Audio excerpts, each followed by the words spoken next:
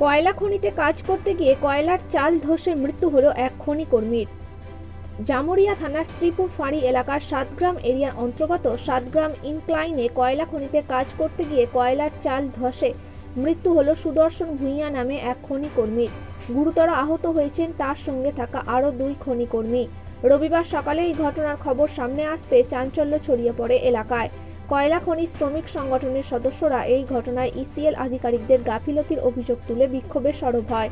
জানা গেছে, আহত দুই খনি কর্মীকে উদ্ধার করে আসানসোলের কালনা হাসপাতালে নিয়ে যাওয়া হয়েছে। কীভাবে এই ঘটনা ঘটল তা নিয়ে সন্দিহান সকলেই।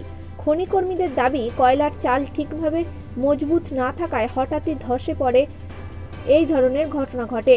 বর্তমানে কয়লা খনির শ্রমিকেরা ওই কেলিয়ারি এজেন্ট কার্যালয়ে এজেন্টকে ঘেরাও করে রেখে বিক্ষোভের সামিল হয়েছেন। তারা এই ঘটনা ঘটার জন্য দায়ী কলিয়ারি কর্তৃপক্ষকে বলেই দাবি করছেন।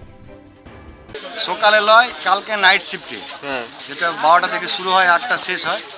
ভোর পাঁচটা চল্লিশ নাগাদ অ্যাক্সিডেন্ট হয় খাদের তাতে আমার একটা ওয়ার্কার সৌদাগর ভূঁইয়া আর সঙ্গে আরও দুটা ডিলার চাপা পড়েছিল কিন্তু সৌদাগর ভূঁইয়া মেন জায়গায় ছিল পুরো চাপা পড়ে গিয়েছে। আর নরেশ রায় বলে যার আরেকটা ডিলার ছিল সঙ্গে তাকে কাল্লা হসপিটালে অ্যাডমিশন করানো হয়েছে। আর বিশ্বনাথ রায় মোটামুটি অত চোট লাগে না ঠিক আছে উপরে আছে চলে এসছে খাদান থেকে। এই ঘটনা। তো শ্রমিক অভিযোগ করছে কি সেফটি কিছু নেই?